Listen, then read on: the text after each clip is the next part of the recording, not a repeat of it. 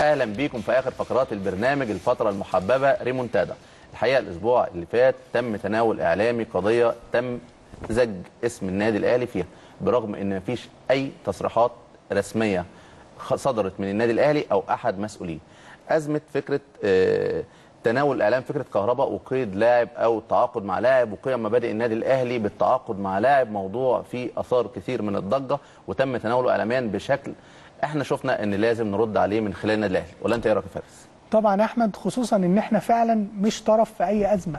حتى فكرة النيل من آه، لجنة التعاقدات امبارح لما اتسألت سؤال فقالت إلى الآن ما فيش تعاقد. فلما يبقى في تعاقد هنتفاوض مع النادي البرتغالي في حالة الرغبة. فهنا طبعا ده تصريح محترف ما ينفعش يتقال غيره. ففكرة لأ إزاي إحنا بنتهاجم على ده؟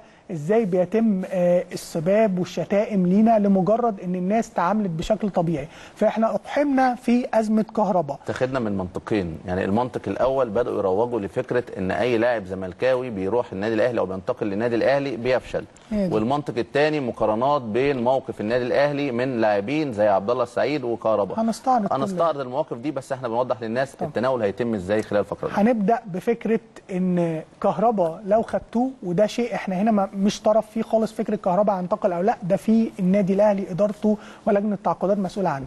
ولكن فكرة هنا جملة ما ينفعش تعدي مرور الكرام. إذا كنت بتتعاقد مع لاعب لعب سابقا لنادي الزمالك فمحكوم عليه بالفشل. نشوف الفيديو.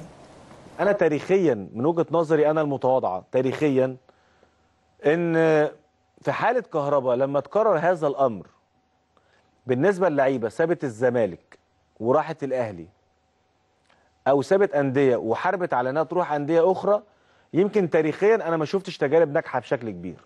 وجهة نظري بنسبة 90% يعني ممكن ممكن نقول 10% اللي نجحت التجربة و90% ما نجحتش التجربة. أنا بحب قوي موضوع تاريخيا لما إيه أستاذ أحمد جمال يتك عليه تاريخيا.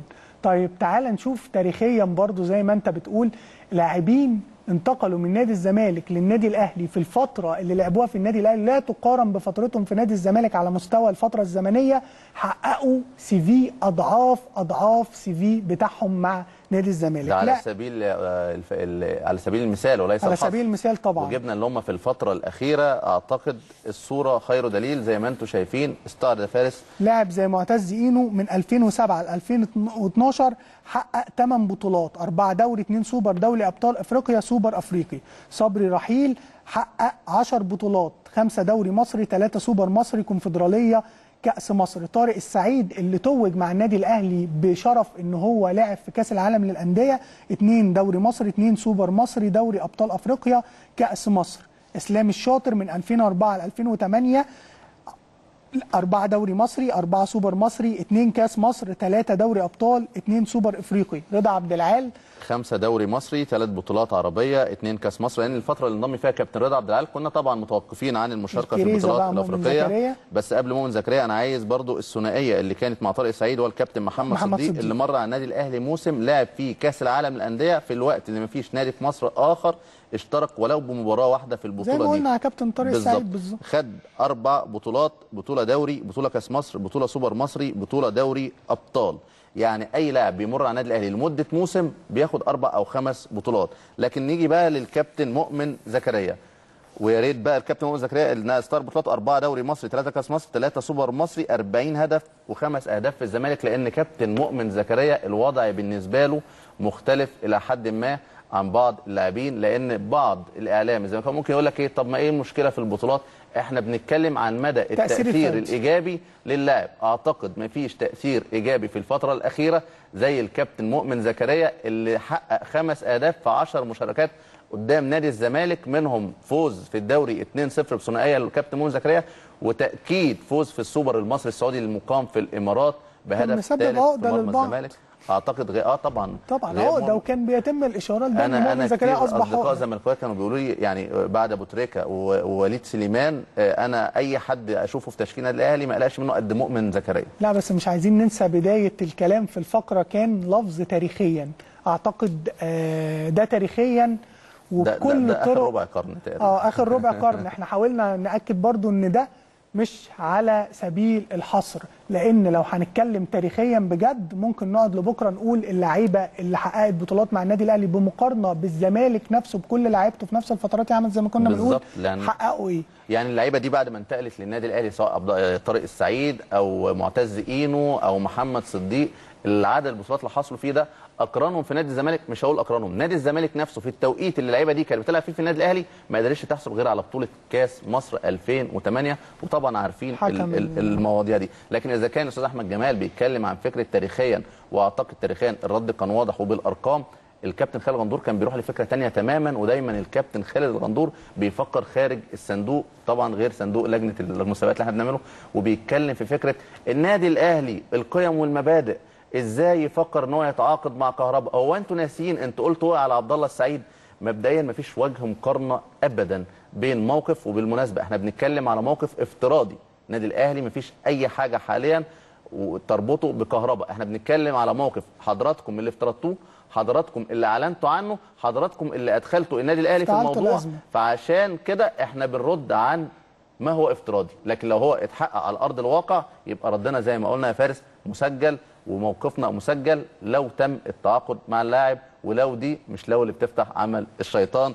الحقيقة الموقف مختلف تماما ومن حقك كجمهور نادي الزمالك أو جمهور لأي نادي آخر أعتقد يا فارس من حقه إن هو يقول على أي لاعب كما يشاء ليه طالما اللاعب ده فضل إن هو ما يكملش مسيرته في النادي ده. وبعدين إحنا قلنا حاجة مهمة يا أحمد. ما ينفعش تدلل موقف النادي الأهلي في موقفه مع عبد الله السعيد إلى الآن في ناس مش شايفة ولا فاهمة فلسفته. النادي الأهلي ما كانش فكرة استمرار لاعب من عدمه هي الأساس بدليل إن اللاعب بعد ما وقع النادي الأهلي سابه. يا جماعة الأساس في الموقف ده إن يتم التلاعب بالنادي الأهلي ويقعد اللاعب مع كابتن عبد العزيز عبد الشافي ويساله بشكل واضح وهو موجود كابتن عبد العزيز الشافي وشهادته موجودة. انت وقعت في حتة تانية ويتقال لا ويتم عمل سيناريو عشان تبقى فكرته النادي الأهلي اتضحك عليه. لا أنا أفسدت لك السيناريو ده متعمد وبخطة في منتهى الذكاء. أما اللاعب نفسه بعد ما عمل كل ده أنا قلت له أنت مش هينفع تكون جزء من المنظومة لأنك ما كنتش أمين في طرح وجهة نظرك أو طرح الموقف. ده مختلف تماما عن لاعب أنت شايفه هرب من ناديك أو انت واخد اتجاهه موقف وما عندكش مانع أو في تلميحات ان هو ممكن يرجع لك تاني. ده شأن يخصك. إحنا ملناش دعوة ومش طرف فيه. ولكن شتان بين الموقفين. بالتأكيد وحبينا فعلا نأكد على موقف عبد الله السعيد للي مش واصل له لسه الموقف. النادي الأهلي بيحافظ على حقوقه والنادي الأهلي مش بيسمح لأي لاعب يتلاعب بيه. فبالتالي وده اللي كان حاصل. أنا آسف في مصطلح التلاعب لكن ده اللي كان حاصل بالفعل من عبد الله السعيد. ليظل النادي الأهلي في مواجهاته مع نادي الزمالك في انتقالات اللاعبين بينتقل من النادي الأهلي لنادي الزمالك اللعيب اللي يستغنى عنه النادي الأهلي. أما النادي الأهلي بيتعاقد مع اللعيبة اللي بيشوف إن هو محتاجهم في الوقت اللي بيكون الزمالك محتاجهم وهنستعرض كمان إن النادي الأهلي ما كانش بيعرض مغريات أو مبالغ مالية أعلى زي ما قلنا قبل كده وجبنا طارق السيد اللي قال لك كانوا هيدوني مبلغ زي اللي أنا باخده فطب أنا إيه أروح والكلام ده كله. لكن حبينا نوضح نقطة مهمة تانية في موضوع قضية القيم والمبادئ اللي هي فكرة إن النادي الأهلي بجهته بمسؤولينه بأي مسؤول إعلامي لم يتعرض اطلاقا في أزمة عبد الله السعيد لنادي الزمالك. يعني منح الحق تماما لنادي الزمالك إن هو يقوي صفوفه. أنت قوي صفوفك بالطريقة اللي تتماشى مع اللوائح والقوانين والأزمة كانت لوائح وقوانين ما كانتش غير كده مع نادي الزمالك. النادي الأهلي وجماهيره لم يتطرقوا مثلا لنادي النجم الساحلي لأنه تعاقد مع كوليبالي. أنا أزمتي مع اللاعب أنا موقفي مع اللاعب ماليش علاقة بالنادي اللي هيتعاقد مع اللاعب على عكس ما أنت بتفعل وبتعمل أزمة مع النادي الأهلي في الوقت اللي المفروض تكون أزمتك فيه جماهيريا واعلاميا وكمان على مستوى مجلس مع اللاعب وشأن قانوني يتم اخذ مجراه ونشوف العقد سليم العقد مش سليم العقد اتوثق صح العقد اتوثق غلط ده مش موضوعنا ده المفروض يكون موقفك. لكن موقف النادي الأهلي مفيش موقف للنادي الأهلي ضد أي نادي تعاقد مع أي لاعب بدليل. عصام الحضري لما جه الإسماعيلي النادي الأهلي ما كانش له موقف. لما بعد الإسماعيلي راح الزمالك النادي الأهلي برضه ملوش موقف. اللعيبة دي مواقفها بتكون مع النادي الأهلي وجماهيره اللي بتتحد على الموقف. أي لاعب حتى لو ندم ورجع بكى قدام التلفزيونات ورجع قال أنا اسمحوا لي وأنا آسف والكلام ده كله بيكون موقف واحد وصريح وأعتقد إدارة وجمهور كمان. بالظبط إدارة وجمهور وأعتقد موقف عصام الحضري كان واضح جدا في فكرة جماهير رد جماهير النادي الأهلي عليه اللي رفضت تماما عوده حسام الحضري في عز احتياجنا ليه. زي ما كنا في عز احتياجنا لكوليبالي برضه موقفنا كان واضح وسليم. وبعدين يا أحمد زي ما إحنا بنقول إن إحنا بندفع دفعا إلى الرد. أنت شوية بتتكلم في أحداث تاريخية وشوية بتنال من مبادئ النادي الأهلي في حاجة النادي الأهلي ما كانش طرف في علاقتك باللاعب وتيجي هنا تبدأ تهاجم مبادئ النادي الأهلي أو تاريخه. لا لازم نرد ولازم نوضح وما نسيبش مغالطات عشان الناس البسيطة اللي ما فيش متابعة للسوشيال ميديا أو ما عندهاش الكواليس كاملة لازم تعرف إن اللي بيتقال ده غلط لدرجة أنت أفقدت نفسك المصداقية. حد من الجمهور بيتكلم معايا بيقول لي كابتن خالد الغندور قال إن في خطاب جه من الاتحاد الأفريقي بيثبت إن الزمالك كانت المباراة تلعب في برج العرب. قلت له ده حقيقي.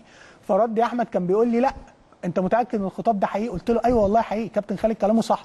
فإحنا وصلنا لدرجة إن أنت أفقدت نفسك المصداقية من كتر الادعاءات والمغالطات اللي إحنا بنقولها أنت أفقدت نفسك المصداقية. في نقطة كمان آه النقطة اللي هي المهمة في الموضوع هي نقطة اللوائح. ما هو ده اللي إحنا هنروح آه، له. لا. ده عشان نأكد على مصداقيتها لأن الكابتن خالد دايما كان بيستغرب اللوائح دي إشمعنى بس. بتطبق على على الزمالك؟ وعشان بنتكلم عن اللوائح كابتن خالد الغندور تساءل تساؤل برضه فيه مغالطة. قال هو في نادي في العالم أو في مصر أخطر النادي الآخر إن اللاعب اللي انتهى مدة التعاقد معاه إن أنا هتفاوض معاه طيب نشوف الفيديو ده ونرجع نعقب بص مفيش مفيش نادي فيك يا مصر لعيب انتهى تعاقده ومضى في نادي. تاني وبلغ الأولاني انتهى. مفيش. خالص إحنا دايما ب... بنبقى بنروح لعواطفنا وأهوائنا وانتماءاتنا طيب هنا بشكل واضح كابتن خالد الغندور بيأكد إن مفيش نادي بيخطر نادي آخر إن هو هيتعاقد مع اللاعب ده طالما هو في الفترة اللي تسمح بإن النادي يتفاوض معاه. طيب نشوف الفيديو ده عشان نقدر نعقب. قال لي طلباتك إيه؟ قلت له طلباتي إن همضي وامشي اتكلم جد عشان حسيت إن كرامتك رجعت لك. بالظبط. هو هو بص الكابتن عدلي موجود اهو يقول لك. آه. فقال لي طب انت بعت الثلاث جوابات؟ قلت له لا. آه. فقام جاي متصل بالنادي وقال لهم إيه حضروا ثلاث جوابات واحد لاتحاد الكورة بس ما تعملوش عليه اللوجو بتاع النادي الأهلي. مم. ثلاث جوابات عاديين ان أنا اللي بعملهم باسمه هتيجي وهمضيهم وبعد كده هاخد أنا جوابين ابعتهم لنادي الزمالك والمنطقة وهم هيبعتوا بالفاكس إيه لاتحاد الكورة. تمام. لأن قال لك كان الكلام ده كان يوم خميس. عملوا الثلاث جوابات. وكتبوا لك كام بقى في العقد فلوس؟ انت كنت عايز 35 من الزمالك. ما طلبتش فلوس بقى انت ما رايح فلوس عملوا لك كام؟ را- رايح مهدر كرامتك. ع... عملوا لك كام؟ هما؟ آه. ادوني زي أي لعيب في النادي الأهلي في السنة دي. بس أنا خدت فلوسي تاني سنة مش أول سنة. آه. لأن أول سنة ورجل الاعمال ده اداك فلوس؟ بصراحه لا، لا، ولا جنيه؟ ولا جنيه. اداك شقة؟ لا لا لا لا. امال إيه الافلام اللي كانت بتتقال؟ هو كان بيدفع لي قسط العربية اللي قعد لي ثلاث سنين وبعد كده ما ما بقاش يدفع تاني. عربية؟ آه. جاب لك عربية أنا اللي جبت العربية ودفعت المقدمة بتاعتها وهو كان بيدفع لي القسط لمدة ثلاث سنين. عارف يا كابتن خالد كنت المفروض لما حضرتك تتكلم عن إن مفيش نادي اخطر نادي كنت تقول لأ. أنا كنت حاضر واقعة وكنت أنا اللي ادرت الحوار بنفسي ان النادي الاهلي عمل شيء راقي جدا في إزاي اخطر نادي الزمالك بالتعاقد مع رضا عبد العال أو التفاوض معاه وازاي مشى بشكل محترف وازاي النادي الاهلي قدم درس لأن فعلا في نادي ممكن يخطر النادي الآخر وكمان كابتن رضا عبد العال فيه في كلامه تفاصيل كتيرة جدا قد إيه النادي الاهلي بشكل محترف ما أغراش اللاعب بالمال لأن هو كان بيتكلم بشكل واضح أنا اتعرض عليا زي أقل لاعب في النادي الأهلي احمد بالظبط يا فارس وأعتقد نقط واضحة جدا في تصريحات الكابتن رضا عبد العال وبيؤكد إن فعلا النادي الأهلي مش بيتم إغراء أي لاعب بمقابل مادي أعلى. أنت كون إنك تبقى في النادي الأهلي فده في حد ذاته بيصنع تاريخ ومجد ليك. ما أعتقدش النادي الأهلي محتاج إن هو يزايد على أي نادي في دخل أي لاعب. وكمان السيستم بتاع النادي الأهلي في التعامل مع لاعبي- لاعبيه واضح جدا. لكن الكابتن رضا عبد العال قال حاجة كمان لما كابتن خالد غندور سأله عن موقفه من موقف نادي الزمالك من الجوابات اللي راحت. تعالوا نشوف الفيديو ونرجع تاني. عارف بقى الزمالك إن أنت وديت الجوابات. آه. إيه اللي حصل؟ ما رضيش يستلموها مين اللي مرضاش اللي هو عبد العزيز أمين. كان ساعتها هو مدير النادي. ليه؟ والناحية الثانية في المنطقة كان آه، جلال محمود الله يرحمه. ما رضاش يستلمها برضه؟ برضه ما رضيش يستلموها هو اتعمل محضر هنا في الجيزة واتعمل محضر في إن هم مش راضيين يستلموا جوابات اللي هي بتاعه الزمالك دي نقطة الزمالك. آه. إن هم مش راضيين عشان تأمن نفسك بقى. آه. واخد بالك؟ وبس. وخدنا ص... ب- حد كلمك بقى أول ما شاف الجوابات؟ الدنيا اتقلبت بقى. إيه بقى؟ الدنيا اتقلبت في نادي الزمالك واتكسر والكلام ده. وكل ده لما أنا مضيت والنادي الأهلي قالوا لي في أي وقت لو نادي الزمالك محتاجك ورقك معاك. فعلا. أقسم بالله دي حياتي اتقال أعتقد قسم بالله الكابتن رضا عبد العال لو هو لقى نادي الزمالك محتاجك ورقك معاك. ما كانش في ضغط على كابتن رضا عبد العال. الرواية مع كابتن رضا عبد العال وكابتن خالد غندور معروضة تماما. إحنا بس عشان وقت الحلقة كنا بنختصر هو اللي راح للنادي الأهلي. هو اللي طلب الانضمام للنادي الأهلي. النادي الأهلي مشى في الطرق القانونية وبعد ثلاث خطابات موقف نادي الزمالك إن هو رفض يستلمهم. أعتقد لو الموقف مع الأهلي كنا هنستلم هنستلم الخطابات دي لكن نادي الزمالك رفض يستلمهم. كمان النادي الأهلي لم يغري اللاعب بأي مبالغ مالية. النادي الأهلي عامل اللاعب اللي هو نجم نادي الزمالك زي أي لاعب في النادي الأهلي وده مش بس آخر 25 سنة ده تاريخ النادي الأهلي. كابتن حسن شحاتة كان بيطالب النادي الأهلي إن يتم زيادة عقده ويتم توفير شقة ليه. في بداية الس... في السبعينيات ولكن النادي الأهلي رفض وكابتن صالح سليم برغم إعجابه الشديد بكابتن حسن شحاتة كان موقفه إن أنت لاعب زي أي لاعب في النادي الأهلي. دي رسالة لأي لاعب عايز ينضم للنادي الأهلي. أنت لاعب زي أي لاعب في النادي الأهلي لأن لعيبة النادي الأهلي كلها نجوم وفي النهاية النجم الأول هو النادي الأهلي. كمان ورقك معاك لو محتاج ترجع لنادي الزمالك في أي وقت هتاخده. دي قاعدة من زمان قوي موجودة ولكن بنأكد عليها كمان أيمن حفني لما وقع مع الكابتن عادل القيعي قال له يا كابتن عادلي لو رحت نادي الزمالك قال له عقودك مش هتظهر أو مش هيتم شكوتك بيها. تم شكوى اثنين لعيبة في النادي الأهلي لكنهم كانوا موجودين في نادي الزمالك ووقعوا نادي الزمالك والنادي الأهلي وتم إيقافهم ولكن النادي الأهلي تحت عهد أو في عهد الباشمهندس محمود طاهر اللي ما كانش وقتها الباشمهندس عادل القيعي موجود في موقع المسؤولية التزم بكلمة الباشمهندس عادل القيعي مع اللاعب وتم وعدم شكوى اللاعب واللاعب لم يتم إيقافه يوم واحد لأن النادي الأهلي كلمته واحدة. أعتقد مواقف واضحة جدا يا فارس وموقف رضا عبد العال تحديدا كان واضح للصورة دي. موقف واضح والجميل يا أحمد زي ما اتكلمنا إن الريمونتادا النهارده كانت على لسانهم. إن أنت تصدر للنادي الأهلي أزمة فتكتشف إن أنت اللي صنعت لنفسك أزمة. هنفضل دايما بنرد بمبادئ وبقيم النادي الأهلي وزي ما قال كابتن محمود الخطيب لما يبقى حد بيحاول إن إحنا نفشل أكتر ما هو ينجح إحنا هنساعده على فشله ده بان فكرة كلامك هو اللي هيثبت ان انت صعب جدا تحقق نجاحك طول ما انت مستغرق في المؤامرات ومستغرق في تصدير الأزمات للنادي الأهلي. هتفضل بطولات النادي الأهلي خط أحمر صعب تجاوزها وهيفضل النادي الأهلي في عين جمهوره خط أحمر صعب المساس بيه. نشوفكم في حلقة جديدة.